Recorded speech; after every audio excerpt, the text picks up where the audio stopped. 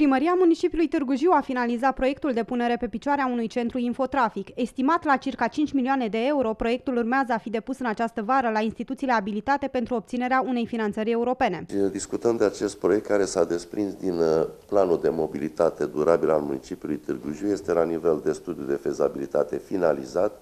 Proiectul este în portofoliu de proiecte împreună cu celelalte despre care am discutat, urmând ca odată cu lansarea ghidului de finanțare de la ADR, să se treacă efectiv la partea de verificare, completări dacă mai este cazul, urmând ca odată declarat eligibil să începem să încheiem contractul și să ținem licitația. Deci probabil în luna iulie-august vom avea primele proiecte pregătite pentru licitație.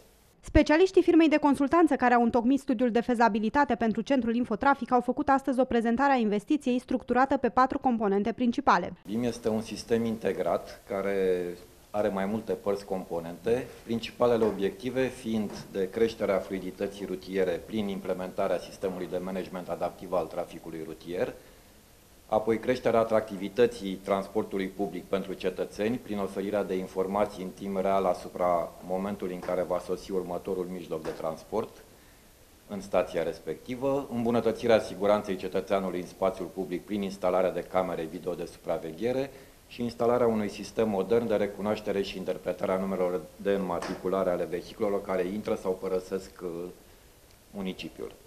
Creierul întregului proiect va fi centrul de comandă și control, ce va fi amenajat în cadrul unei foste centrale din zona 9 mai a municipiului Târgu Jiu.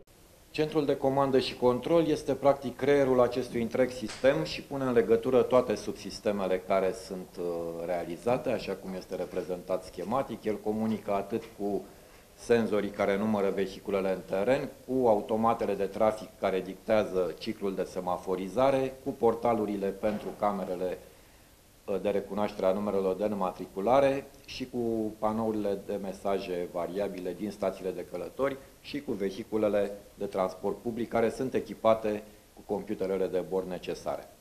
Pentru studiul de fezabilitate al proiectului Centru Infotrafic, primăria municipiului Târgu Jiu a cheltuit aproximativ 60.000 de lei.